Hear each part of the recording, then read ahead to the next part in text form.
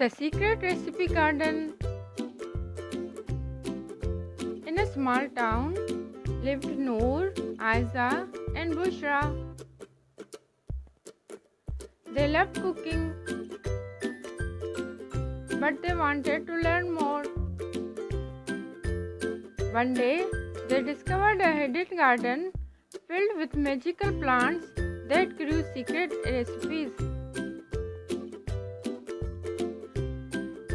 Excited, they started exploring and they met with Fairy.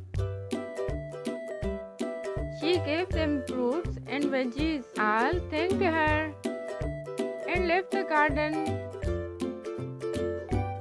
and baked in their kitchen. At their kitchen, they started cooking. Carrots they turned into crispy fries, and tomatoes they transformed into pizza sauce. They carefully picked herbs and spices, each with its unique flavor.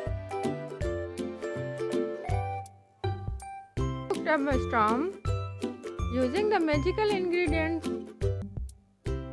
Their dishes were delicious and they invited their friends over for grand feast. As everyone savored the food, the three of friends shared the secret of their garden. Now, the whole town visits the secret recipe garden enjoying cooking adventures together.